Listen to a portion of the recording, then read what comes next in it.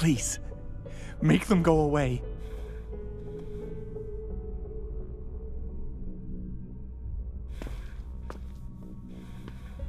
It's okay.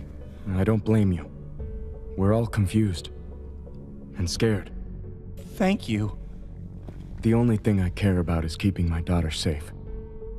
And I'll do anything to protect her. Do you understand that? You've got nothing to worry about from me. I promise. We can help each other.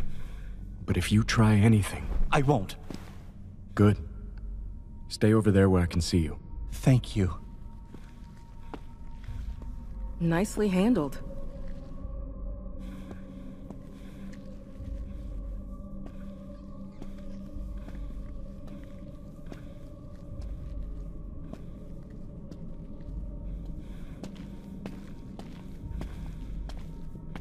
Is everything all right?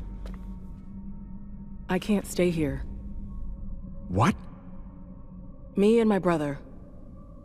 We didn't leave things on the best terms. When I found out he died, I... Look, I don't know who's sending me those letters, but I have to find out. Nora, we need you. You've seen it yourself. These monsters are drawn to my daughter, and I don't know why. But Faith feels safe with you.